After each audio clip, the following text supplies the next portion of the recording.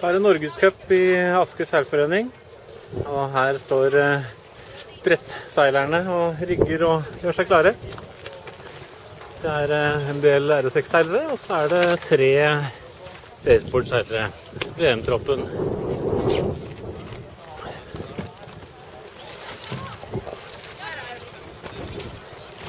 Og så er det veldig mange andre seilere. Optimister og Laser og Zoom 8 og 29-ere. USA 29-ere. Så har vi eh, Jakob Skjerven. Del av VM-troppen og Norgescup-troppen. Og skal eh, bare ut på vannet med bagen.